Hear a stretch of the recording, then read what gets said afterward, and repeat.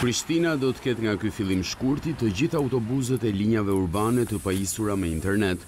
Kjo falë vendosjes së paketave shpërndarëse Wi-Fi të instaluara në autobuse, të cilat mund të përdoren nga qytetarët. Lançimin e kësaj risie e bënë drejtuesit e kompanisë publike të transportit në Prishtinë, të cilët bënë të ditur edhe bilancin e kostove të këtij shërbimi. Ne jemi shumë të interesuar që transporti publik të bëhet një mjet Me autobusat e ri që presim, shpresojmë ta përshpejtojmë këtë proces, që procesi i autobusave, autobusat e ri të vinë deri në fund të vitit 2024. Jam personalisht i angazhum që ky proces i cili është një proces që shkon përmes Bankës Evropiane për Rindërtim dhe Zhvillim, i njohur si BERZH, të shpejtohet dhe në fund vitit të kemi flotën e 81 autobusave.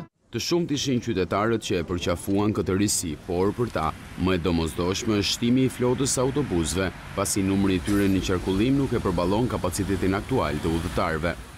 Të çojnë autobusë trafiku urban, unë dyqind vetë në autobus vij, në mëngjes, në shtatë ora, në vend të punës, gjë që duhet në këshillë gjyqësor punoj, dyqind vetë jemi në autobus.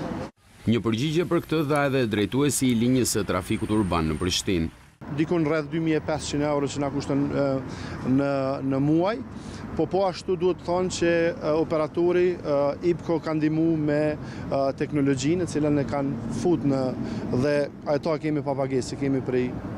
Përpos këtij shërbimi të ri në autobusët e kryeqytetit të Kosovës, çmimi i biletave të udhëtimit nuk do të ndryshojë.